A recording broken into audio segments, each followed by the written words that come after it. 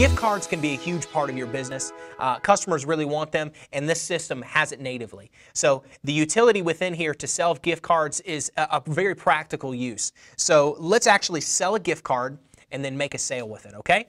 So we're going to take a gift card. Now I want to remind you that there does need to be unique values on each of the cards. So keep track of your initial order. So if you're going to order 250, 500, 1000 at a time, make sure that, uh, that when they encode those with serial numbers that they're unique values. And then actually the next set needs to have unique values as well. So this is going to be a permanent thing to think about.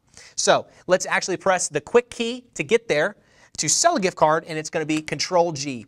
And you can see right here, create a gift card has appeared. We can scan, swipe, or type a gift card ID. So let's actually swipe this card with the unique serial number on there.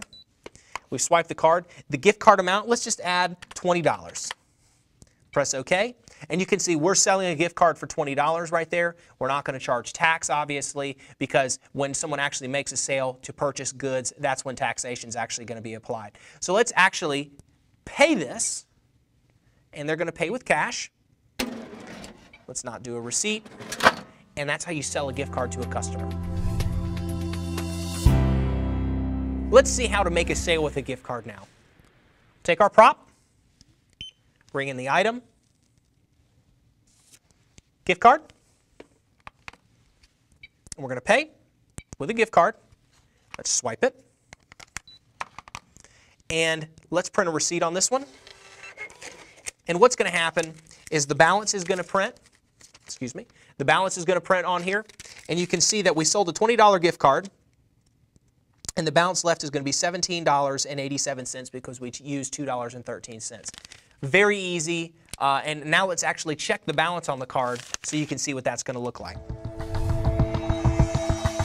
As a gift card sold and the value depletes, some people are going to want to recharge or reload that card. Let's see that process. So we're going to go to TS Lookup. And we're going to, since there's $17.87 available, let's actually get to the grand total of $31 so we have plenty, uh, we, have, uh, we will have cash due at the end. So let's pay. We'll actually pay with a gift card, swipe the gift card with the remaining balance. Now, the balance has just been depleted, and you can see right here, gift card $17.87, and the remainder of the serial number right there. That's paid so far. Now, $13.15 is still due. So let's pay that with cash. Drawer's going to pop. Okay, this gift card is now have actually has no value now. So let's apply some additional value and reload or recharge the card. Control G, same window comes up. We're going to swipe this same exact card. Let's put $20 on it again, and we can pay for it with cash. Now the gift card's reloaded, and the customer can proceed.